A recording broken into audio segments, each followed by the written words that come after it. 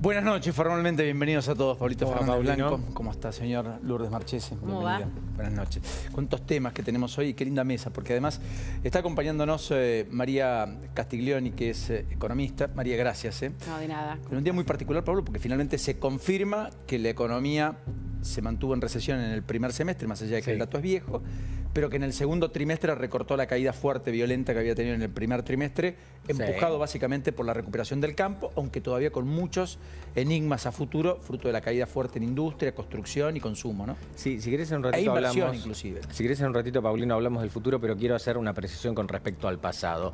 Los argentinos hace tres trimestres que venimos sufriendo una caída constante y secuencial de la economía, ¿sí? Tres trimestres, con lo cual esta economía técnicamente está en recesión. Digo, más allá de lo que opine este gobierno, el gobierno anterior, la realidad del argentino de la calle es que está viviendo en una economía en recesión. Eso es importante. Es importante también destacar lo que acabas de decir.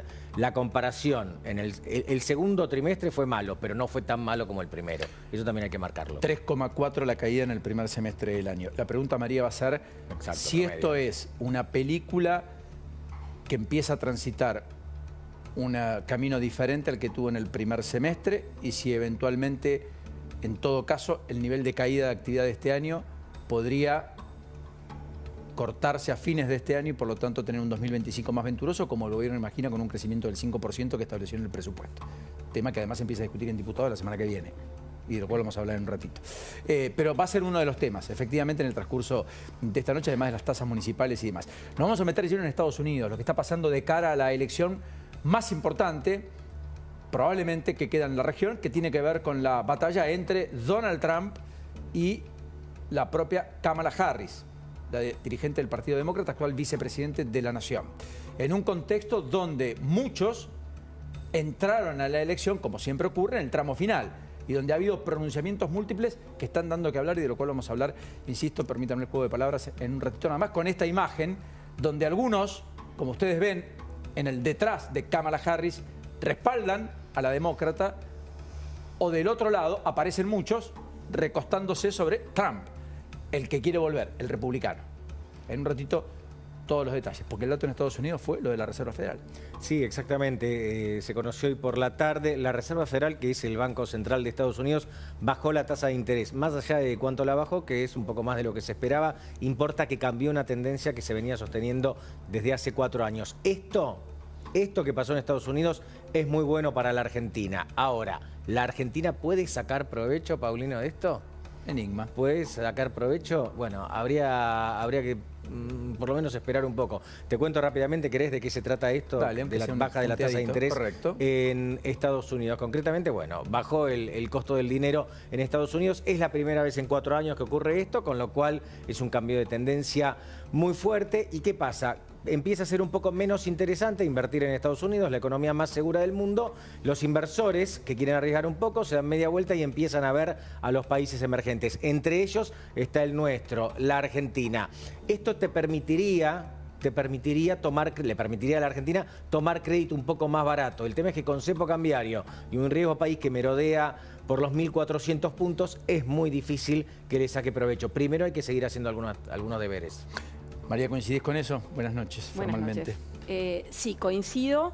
Acá hay una mirada interesante que es recién empieza un proceso que en principio continuaría de baja de tasas de interés, que básicamente tienen que ver con que la inflación en Estados Unidos ya logró bajar y estar en los, los niveles que la Fed tiene como meta, Estados Unidos, que es 2% anual. Entonces, cuando miramos a Argentina, están mirando el detalle, ya está en los niveles eh, actuales. Y, la- y el riesgo que hay ahora, o el miedo, es que con estas tasas tan altas empiece la economía a entrar en recesión, ¿no? Y algunos indicadores que marcarían que la economía no está tan fuerte. Entonces, por eso la Reserva tomó la decisión de bajar la tasa, bajó, como decía Pablo, un poco más de lo que se esperaba. Algunos pensaban que podía bajar eso. Y es un proceso que seguramente va a continuar, todavía no se sabe bien a qué ritmo, lo cual esto implica que de a poco las tasas de interés más largas, que es a donde se invierte, ¿no? Para comparar los bonos, los inversores van buscando rentabilidad, bueno, ya empiezan a mirar otros lugares eh, y miran a los emergentes en general y también miran al sector privado, no solo a los gobiernos. Y ahí sí eh, yo haría una distinción. Argentina, el gobierno argentino está afuera, pero muchas empresas grandes argentinas ya están consiguiendo créditos de hecho, más le pasó a Vista y le pasó a IPF. Exactamente. Y hay otro tema interesante. El dólar se había fortalecido mucho recientemente y eso desde el punto de vista de la competitividad de nuestras exportaciones y también las importaciones fue un problema. El hecho de que se debilite un poco el dólar, bueno, puede ayudarnos eh, frente al resto de otras monedas, ¿no? Claro, Entonces, sin eso devaluar también. internamente, Exacto. solo con la devaluación de esa moneda que nos termina anclando en expectativas, que es el dólar, podríamos encontrar lo que de otro modo solo conseguiríamos con una devaluación que retroalimenta después el alza de precios y revierte expectativas Y y, el gobierno dice gobierno que no va a ¿no? Exactamente. Eso también y también los precios de los commodities que venían afectados por cuestiones también de oferta y demanda, pero también valuadas en dólares venían afectadas por la fortaleza del dólar, ¿Se ¿no? imaginas una soja arriba de 450 Bueno, ahora dólares? ya está quizás? subiendo un poco, vamos a ver a dónde va, no sabemos todavía, es muy pronto, pero sin duda esto es positivo. Yo diría esto es un dato positivo para la economía argentina. Hablando de datos positivos, eh, hoy hubo acuerdo finalmente entre la Nación y la Corte, en, en la Nación y la Ciudad de Buenos La Aires ciudad. por la manda constitucional y por la manda que la Corte había hecho de un fallo que había establecido un laudo, es decir, había zanjado, había fallado, pero como la ley se interpreta, no se cumple. Pese al fallo, la Corte dijo, bueno, pónganse de acuerdo a ver cómo lo instrumentan. Cosa Claro. curiosa. No dice, háganlo, ya está, fallé, punto. En Argentina siempre hay una vuelta de tuerca adicional. Tres encuentros, se alumbró la paz. Finalmente llegaron a un acuerdo. Cuando hoy llegó temprano, 11 menos 10 de la mañana, Jorge Macri dijo que él confiaba en dar un pasito más. Bueno, finalmente ese pasito más se dio. Hubo acuerdo entre Nación y la Ciudad de Buenos Aires. Se va a pagar la coparticipación. Esto que vos decías, Paulino, la, la medida cautelar ordenada por la Corte del 2,95%. Correcto. Recordemos que la ciudad de Buenos Aires está exigiendo el 3,50, que era lo que estaba cobrando. Con la quita de coparticipación, bueno, finalmente la Corte dice, mientras resolvemos la cuestión de fondo, vamos a hacer que Nación le devuelva el 2,95%. ¿Cómo lo tenía que hacer? Por goteo, es decir, día por día. Pero ¿cuál fue el acuerdo al que arribaron en el día de la fecha?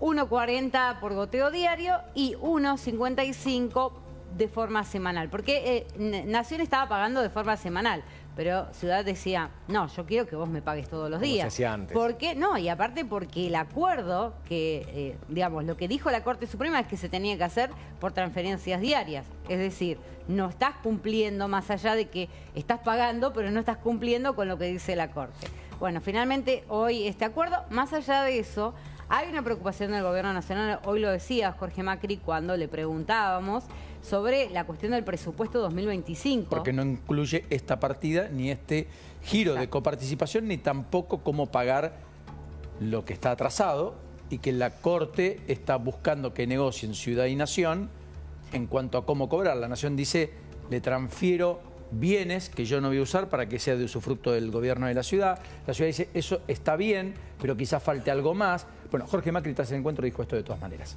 Las dos partes eh, acordamos o cedimos de alguna manera eh, un poco. La ciudad tiene garantía de cobrar el 2.95 y la nación eh, puede pagar de la manera que había propuesto hacerlo. El 1.40 se paga de manera diaria y el 1.55 de manera sema- semanal con un balance mensual. Pero creo que es un buen acuerdo, sobre todo porque logra la certeza y la garantía del, 2 no- del pago del 2.95, mientras sigue la discusión profunda, porque la ciudad tiene, según nuestro entender, un derecho al 3.50, la nación tiene una mirada diferente y eso lo iremos trabajando, pero dimos un paso adelante muy importante y yo valoro el gesto del gobierno nacional de buscar un acuerdo y que juntos podamos destrabar, insisto, algo que las dos gestiones heredamos y que parecía no tener solución. Bueno, es un acercamiento de posiciones Sí. entre personas que se conocen y mucho, Luis Caputo, Jorge Macri. Y que no podía ninguno sacar los pies del plato, ¿no? No, correcto. Ninguno puede sacar los pies del plato porque Macri puede tener eh, un contrincante político importante el año próximo en la ciudad de Buenos Aires y Milei necesita a alguien que le levante la mano en el Congreso. Con lo cual, me parece que ninguno de los dos podía sacar el pie Pero del lo plato. más importante, era ley. No, Sí. no, no es menor, es lo no, más no, no, importante. perdón, no, mi cara quizás No, sugirió algo que no era lo que estaba pensando. Claro que sí, bueno, pero era ley y sin embargo se, se terminó interpretando. Sí. El temor de Macri era que se pusieran de acuerdo por un ratito y cuando quisiera el gobierno le dejara de pagar de vuelta. Ahora con la corte en el medio, Correcto. en Este el- principio entiende que está asegurado. Este es el documento que firmaron eh, en el transcurso de las, eh, del mediodía de hoy y es lo que se alumbró en términos, en términos públicos, no mucho más que para Sí, mostrar. fue bastante breve, te digo, porque a las 11 comenzó y a las 12 y 10 ya estaban saliendo. El acuerdo estaba la previa. Hubo una conversación Sí. anoche entre ellos, Sí. llamado telefónico de Luis Caputo con Jorge Macri, hasta donde sé, eh, resolviendo estos temas que estaban casi resueltos en el último encuentro, pero que dejaron abierto porque había algunas cosas técnicas que tenía que evaluar el equipo económico. Bueno, de hecho, hoy Nacho Damonte, porque hubo cinco preguntas nada más que le hicimos a, a Jorge Macri, y una de ellas fue Nacho Damonte aquí del canal, preguntándole justamente si le molestaba que no estuviera Toto Caputo, y dijo, no, porque yo hablo siempre con él. Exactamente. Y eso había ocurrido ayer. Ni más ni menos. Bueno, eh, Silvia Imas también está con nosotros, es legisladora de la Ciudad de Buenos Aires. ¿Es Imas o Imas? Imas, Imas, muy bien. ¿Descendencia? rusa, Mira vos. rusa. Por el lado de mi padre, del apellido Imas, es de origen ruso. Contingente ruso del siglo XX. Así es. Eh, Silvia, esto a todas luces es una previsibilidad para el gobierno porteño. En la legislatura están pasando muchas cosas. Sí. ¿Crees que puede acercar posiciones? Porque hasta acá la libertad avanza, el bloque más duro, eh, el que se referencia con Karina Milei, no había ha venido acompañando al propio Jorge Macri, y de eso incluso se quejaba en el gobierno porteño. ¿Crees que estas simbologías de acuerdo, etcétera, pueden ayudar a que la legislatura tenga entendimientos más prolongados? Yo quiero decir, antes que nada, que esta es una deuda adquirida por el gobierno anterior. Sí, Dicho esto, el gobierno de Milei hoy, por supuesto, tiene que asumir estas responsabilidades que le quedaron y me alegra profundamente que hayan, queda- que hayan finalmente llegado a un acuerdo. El, el asunto estaba judicializado, se llegó a una sentencia de la Corte y hoy serán los ejecutivos de cada de nación y de Cava quienes van a resolver finalmente el conflicto y a mí, por supuesto, me alegra porque es un dinero que corresponde a los porteños. en todos los casos. Hablando de los porteños y del dinero, mañana se discute en la legislatura un tema no menor, porque nos vamos a meter lleno en el tema tasas, ha habido novedades. Ramón Lanús acaba de confirmar, el Consejo Liberante votó finalmente la derogación de la tasa sobre el expendio de combustibles en San Isidro, que regía desde hace bastante tiempo. Recuerden que otros municipios lo aplicaron recién este año, pero Claro. buena parte de los municipios del conurbano lo venía aplicando ya hace un tiempo y dijo se aprobó por unanimidad en el Consejo Liberante de San- la eliminación de la tasa al combustible. Pasó más de los muchos que... Era un compromiso que había asumido con Luis Caputo. Eh, esto pasó en San Isidro hoy, digo. Pero antes de meternos el lleno en eso, está por un lado las tasas y por otro lado es decir, bueno, si no las van a derogar, por lo menos díganlo y que el consumidor sepa que está pagando. ¿De eso se trata lo que se va a discutir mañana en la legislatura? Bueno, en realidad mañana no vamos a tratar este proyecto que fue presentado la semana pasada, pero sí es un proyecto que yo presenté de transparencia fiscal. Y tiene estado, digamos... Tiene, está entrando en la comisión, en tratamiento en comisión. ¿Qué queremos con esto? El consumidor tiene que saber qué es lo que está pagando. Tiene, tenemos que generar una cultura fiscal en el, con- en el consumidor contribuyente. Nosotros, no sé, vos te compras una camisa, Paulino, y dice tanto por ciento de algodón, tanto por ciento lino, tanto poliéster. Compras un alfajor y te ven esos octógonos espantosos, bueno, que te dicen tiene muchas calorías, tiene no sé cuánto de sodio. Mucho azúcar, exceso Mucho de sodio. azúcar, Exceso ¿no? de... Correcto. Todos tenemos esos octógonos espantosos. Y yo recuerdo un meme que circuló en algún momento con los octógonos que decía exceso de impuestos. Bueno, ese octógono no está en ningún producto. Vos comprás un producto y no sabés qué es lo que estás pagando con un ticket. En la factura A te pueden discriminar. Entonces, O sea, impuesto a los ingresos brutos, IVA, débito y crédito bancario, ganancia, sellos, seguridad y higiene como tasa. el consumidor, así como sabe cómo está compuesta la camisa que compra o el alfajor, tiene que saber cómo está compuesto lo que está pagando por ese producto. Entonces lo que proponemos es exactamente eso, Está bien. que se discrimine el precio bruto del producto o del servicio que está pagando y todo lo que es impuestos. Este es el meme, ¿no? ¿Lo tenés, Juan Cruz? A ver, a ver si tenemos... Ahí está. Eh, eh, Ahí está. Contiene exceso de impuestos Muy cuando bueno. habla de eh, la geografía Argentina. política de la Argentina. Y está muy bien. A propósito, el proyecto de presupuesto que empieza la semana que viene a discutirse en la Cámara de Diputados de la Nación, de la Nación, no tiene una sola reducción de alícuota de impuestos. No, de hecho el gobierno de Milei eh, aumentó los impuestos. Esto hay que tenerlo en claro también, ¿sí? Porque mm, todos nos quedamos con la última noticia de que se dio un pasito atrás en el impuesto país, pero fue la reducción que el propio Milei y Caputo habían aumentado. Cuando esto es creo que es incuestionable. Cuando uno le pregunta al gobierno, dice, sí, sí, nosotros somos liberales, pero esto es la Argentina y hay que hacer una serie de tareas, de cosas, antes de efectivamente empezar a bajar impuestos. Es cierto que en la voluntad, no desconfío de la voluntad del gobierno, que es terminar bajando impuestos, pero también tienen que cerrar las cuentas. En el proyecto de presupuesto no se habla ni de reducción de retenciones, ni de eliminación de ningún impuesto, ni siquiera el impuesto al crédito y débito bancario. Puedo ser un poquito provocador a esta hora de la noche, Ni tampoco lícuotas este, que se reduzcan eh, o derechos de exportaciones, etcétera. Bien, de 1 a 10, ¿cuántas chances tiene este presupuesto de ser aprobado para vos? ¿Así como está? Sí. Dos. Para mí cero. Entonces, el estamos ahí, ¿no? Yo Tiene ser generoso por las dudas. no, pero hoy, estoy un poco egoísta. Entonces, eh, básicamente esto se va a discutir y es algo de lo que se tiene que incorporar. Tampoco hay una reducción del cepo cambiario. Hace tres noches que quiero decir algo en este programa y me diste el pie justo. Ahora lo voy a decir. A propósito de lo que pasó en San Isidro con la eliminación de la tasa para cargar combustibles, que antes no estaba, hace 20 años no estaba esto en la Argentina y después se fue incorporando a lo largo de los años. Esto tiene un efecto directo sobre los comercios muy pero muy bueno para algunos y muy malo para otros. Imagínense esto, San Isidro eliminó la tasa que cobraba por combustibles, pero pongámosle que Vicente López no. Cosa que es así. ¿Dónde vas a ir a llenar el tanque? Se supone si que llenas el tanque, claro, 45 litros. Te sale 5 lucas más en un municipio que en otro por hacer de repente 15 cuadras en algunos casos. No son 5, serán 1.500 pesos no sé, 2% en un tanque de nafta de 55 mil litros. Sí, 55 Hacer la proyección mensual, de alguna manera te voy a llegar al número. ¿Vos querés llegar a los 5? obviamente, ponele. Hay, hay, una diferencia, hay una como diferencia. Ley, ¿eh? Llega siempre al número. ¿Soy como mi ley? Eso lo vamos a charlar después del programa. No, porque dijo 60 mil millones de recorte a las provincias y le dijeron, no, no, son 20 mil. Bueno, hoy Franco dijo... No, no, de ninguna manera, de ninguna manera. Mañana te traigo el Excel. Pero a ver, en cualquiera de los casos, eh, ¿Podemos ver el cuadro de las tasas que cobran los municipios? Esto es un problemón para, para eh, la persona que tiene una estación, de, una estación de servicio, un almacén, un supermercado en un municipio donde te cobran más tasas. Miremos el, cuadro, si lo, si lo tenemos, eh, porque da la impresión que está bueno poner en perspectiva de qué estamos discutiendo. La idea es transparentarlo en la ciudad. Yo creo que hay un caldo de cultivo y un clima de época que hace, María, ayúdame, que colabora a esta idea de que la Argentina para ganar competitividad lo tiene que hacer bajando impuestos, bajando el nivel de gasto público, pero bajando impuestos, bajando la presencia del Estado, desregulando la economía, que el privado tenga más eh, dinamismo, que haya más incentivos a la producción y por lo tanto que finalmente además los costos operativos sean reducidos vía una competitividad adicional de la economía que lo da un Estado más eficaz. Es que acá hay dos cuestiones, te diría. La primera, cuando vos mirás el, en qué, cómo ganan competitividad los países, los países ganan competitividad con menos impuestos y regulaciones que traban la actividad y encarecen la actividad.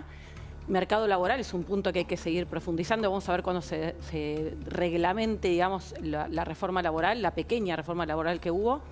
Eh, Pero también La ley base se aprobó un capítulo laboral está, de dos meses pero no está reglamentado. Están hablando de que ya casi lo terminan, no, sabemos todavía el detalle. cuatro semanas que escucho que ya casi lo terminan.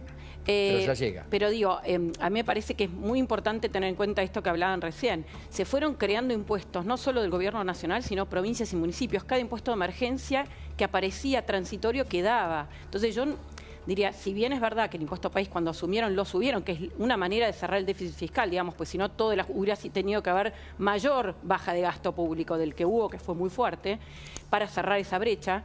Eh, lo cierto es que ahora cuando termine este impuesto, que era por cinco años, no lo van a renovar, que sería lo lógico, pero lo que ha pasado hasta ahora no ha sido eso. Todos los impuestos nuevos de emergencia quedaron, se iban multiplicando. El impuesto al cheque se puso en 2001 pero era parte de un paquete de mejora de competitividad. De ese paquete de mejora de competitividad de Caballo solo quedó la primera parte que fue el impuesto. No quedó la otra parte nunca llegó porque nos vino la crisis. Entonces, em, así se fueron sumando cada vez más impuestos. Entonces, pero para bajar impuestos, que es lo que hay que hacer, eh, Obviamente está la teoría de la curva de Laffer. Tengo tantos impuestos que evado mucho, entonces si bajo impuestos voy a va a haber más gente pagando y al final voy a recaudar más. Sí, eso ocurre en el largo plazo. En el corto plazo cae la recaudación. Entonces, si vos querés o la tesis es llegar al equilibrio fiscal, porque si no nos frenas la inflación, que es el peor impuesto, entonces primero hay que lograr redefinir qué rol va a tener cada nivel de gobierno y qué gastos va a tener que afrontar, bajar el gasto y luego poder ir bajando impuestos, dado el equilibrio fiscal, digamos, que es el punto de partida. La provincia lo que dicen nosotros no podemos ajustar más, porque tenemos equilibrio fiscal. No estoy tan de acuerdo, no estoy de acuerdo. Asumimos los costos de la educación, de la salud, estamos supliendo en infraestructura lo que el gobierno nacional no hace, estamos pagando fondos que antes fluían de Nación y hoy no están, Fondo Compensador del Transporte, FONIT. A ver... Eh, eh y encima no nos giran los fondos de las cajas jubilatorias, por caso que son altamente deficitarias, por lo cual están reformándose las eh, leyes de jubilación en muchos lugares. Santa Fe es un caso, por ejemplo. También me parece que asisten algunos derechos ahí, porque si no, la idea es, yo cobro todos los impuestos, vos no cobres ninguno, pero hacete cargo de todo. No, no, a ver, y yo pago acá, acá te diría, no, aclaremos, la reforma tributaria del 2018 amplió lo que es la base de, impuestos coparticipados, o sea, la, coparticipación automática. Las provincias reciben más que lo que recibían antes. Esto también tiene que ver con una parte del 15% de la masa coparticipable se les había quitado con la, cuando fueron las AFJP en el 94 para financiar la transición. Pero hay un fallo, un fallo de la Corte. Claro. Cuando no podía hacer otra cosa la digamos, Por muchos años, en realidad, cuando se estatizó el sistema de jubilatorio, cuando, cuando Cristina, digamos, lo estatizó, se quedó con el stock, el flujo y no le dio a las provincias lo que les correspondía. Un fallo de la Corte que recién lo tuvo que implementar cuando asumió Macri y eso, más otras reformas, lo que hicieron fue ir ampliando la base eh, de, que iba a la coparticipación a las provincias de forma automática, de ganancias, del IVA, etcétera. O sea que las provincias mejoraron su situación relativa. Lo que pasa es que en paralelo lo que hicieron fue aumentar la estructura de gasto, el empleo público, y no solo por la educación, por el cargo, la, educación y la salud está a cargo de las provincias desde hace mucho tiempo. Pero cuando uno mira, también acá hay una cuestión que creo que es el cambio de época, que es que todos los niveles de gobierno tienen que mirar muy bien en qué gastan y no estar gastando en cosas que no son las que les corresponde a cada nivel. Hay superposición de gastos. En Tucumán hubo una reducción, digo por poner un gobierno peronista. Tucumán es un ejemplo eh, muy fuerte de redujo 30% el personal eh, político, redujo también ministerio, fusionó áreas. Ahora abrió un retiro voluntario, se inscribieron 600 de los cuales la mitad son universitarios entre 40 y 49 años, los que se están yendo del Estado de Tucumán. Eh, también hubo una reducción muy importante de ministerios y demás en varias regiones de la Patagonia. Muchas provincias. Muchas, provincias. En el Chaco también, sí, pero no eh, todas, no en todas, esto es desparejo en general. Es cierto. Ahora, insisto, la policía local, comunal, requiere recursos. El Estado Nacional muchas veces te hace la infraestructura, te monta el hospital, pero después lo pagas vos. Pagás lo profesional, pagás la tecnología, pagás la seguridad, pagás la limpieza. Te hace la plaza, pero después la tenés que mantener vos. Te hace, si querés, el acceso a la ciudad. Después tenés que pagar la iluminaria. Tenés que pagar, además, el contralor, que no lo hace el gobierno nacional. Bueno, por supuesto. Pero igual cuando uno mira, yo te digo la contracara, cuando mirás la evolución del gasto de cada nivel de gobierno, todos los niveles de gobierno aumentaron su gasto. Eh, y muchas veces... De manera desproporcionada. Cuando mirás, la, claro, cuando mirás el presupuesto no lo, no lo asignaban a lo prioritario que es justamente en cada... Por eso te digo, creo que hay que discutir de vuelta qué tiene que hacer cada nivel de gobierno y realmente no estar gastando en eh, cosas que realmente lo puede hacer el privado o no tienen sentido para un país pobre, digamos, ¿no? Entonces, este, de repente, lo que eh, pagar recitales o viajes de egresados mm, me parece que no es la prioridad frente a pagar mejor a los docentes. Y a mm. veces es una cuestión hasta de organización. Controlar, bueno, ¿cuántos docentes eh, cobran y cuántos están de licencia que no deberían estarlo? Digamos, entonces, si tenemos muchos docentes, pero pocos están en, frente al aula y los otros tienen una licencia, están haciendo otra cosa, claramente no alcanza la plata o todos cobran poco. En ese sentido, está el ITEM Aula de hace muchos años en Mendoza, está un eh, incentivo adicional en Santa Fe de esta naturaleza que lo instrumentó Puyaro, el presentismo. La legislatura de Río Negro está por discutir el presentismo, que había disparado algunos conflictos con UNTER, el gremio mayoritario en la provincia, donde además hubo varios días sin clases. Es un debate espectacular y me parece que es lo que hay que hacer, porque si no, el Estado se ha ido, había aumentando, a llegó a 40 puntos del PBI el gasto público consolidado, casi la mitad de lo que producimos se iba en gasto público, cuando históricamente Argentina tenía 20, entre 20 y 25% del PBI. Y eh, no vimos una mejora respecto de la historia O sea, en la no tenemos los educación, en la servicios ni de salud. Suecia, ni de Australia, ni ni, siquiera de respecto, Finlandia. ni siquiera mejoraron respecto de la historia argentina. No es que porque agrandamos el Estado estamos dando mejores servicios. Entonces, claramente acá hay un Correcto. problema. Vol- Volvamos al tema municipios. Miren, miren los cuadros que trae Pablo de tasa de seguridad y higiene, de tasas municipales. Pongan lo que ustedes quieran. Y después el cruce que se generó hoy, porque hay una medida judicial que promovió el municipio de Pilar, que contábamos ayer. Un juez de campana terminó validando en una cautelar que sigan cobrando en las facturas de energía por caso el alumbrado público, cosa que el gobierno nacional quería quitar.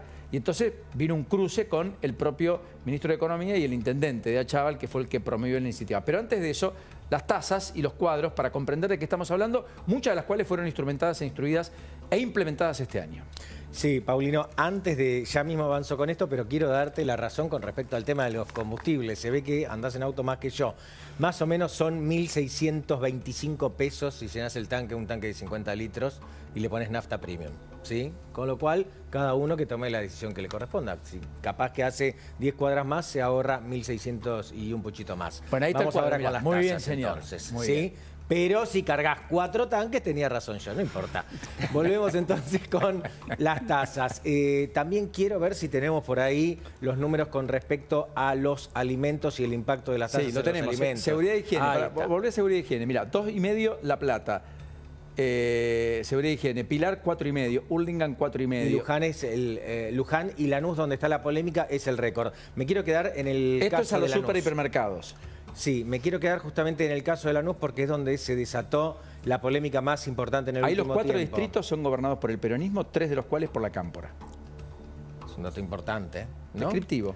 Bueno, Kisilov también está a favor de esto, los subintendentes también, y del otro lado podríamos poner, por ejemplo, a, a Diego Valenzuela. Entonces, con respecto a esto, ¿por qué se armó un gran lío en Lanús? Porque el intendente de Lanús decidió, y esto es la versión de la intendencia, directamente los supermercados opinan un poco distinto, aumentarles las tasas a los supermercados para bajárselas a los almacenes. Comercio Esto de barrio, Dicho muy esquemáticamente, dicho muy esquemáticamente. Entonces después hace un promedio y dice, yo no aumenté la tasa al 6%, yo lo hice al 3%, haciendo números redondos. Los supermercados dicen, a mí me la aumentaste al 6%. Entonces, ¿qué pasa? Trasladaron los precios. Y si vos vas hoy a comprar arroz, fideos, leche o cualquier otro producto de primera necesidad o cualquier producto en general, como muy bien estamos mostrando ahora, vas a ver que te sale unos pesitos más en Lanús con respecto a Avellaneda y Lomas de Zamora está un poco más atrás.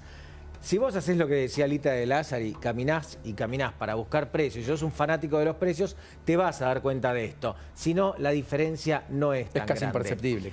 Es casi imperceptible, pero recordemos que estamos en una economía recesiva, tenemos un alto nivel de pobreza y el poder adquisitivo del salario recién se empieza a componer, a recomponer un poquitito a partir de abril, con lo cual la economía familiar es importante y esto está en el medio de la discusión. Además, por si fuese poco, los propios supermercados empezaron a liderar el debate, que en otra época no lo hacían, ahora están los supermercados hablando, algunas empresas de combustibles también. Eh, 9,8 cayó el consumo privado en el segundo trimestre del año, 6% el consumo público. Eh, efectivamente la inversión se desplomó, cayó 29%, 29,3% se hundió segundo trimestre del año.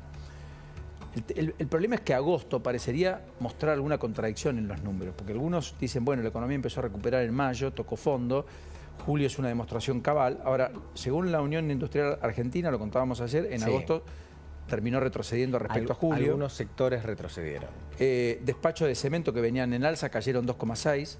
El índice Construya que mide las ventas de eh, insumos de la construcción de las empresas líderes que tenían cuatro meses consecutivos de alzas, en agosto cayó respecto a julio 4%. La producción automotriz está mostrando sí datos muy alentadores en agosto, subiendo más del 16% y eso probablemente traccione. Pero quiero decir, todavía no hay una tendencia consolidada plenamente, eso voy.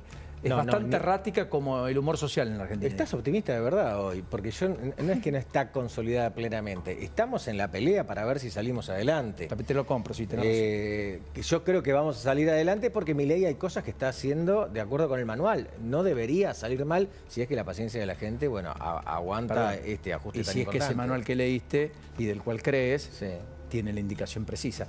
Y es la realidad. Pero más allá de eso, eh, miren el tuit de Caputo cruzando a De Achával, solo para cerrar ese capítulo, porque justamente Pilar fue uno de los distritos, el que aquel que logra la